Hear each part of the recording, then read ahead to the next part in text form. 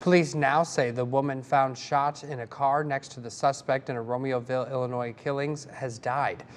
Armelinda Palomo was killed in an apparent murder-suicide in Oklahoma while trying to outrun police. Palomo's family attorney says she was living with Nathaniel Huey, the suspect, at the time. He's accused of killing a couple, their two young children, and their three dogs in the Chicago suburb. Police have not released a motive.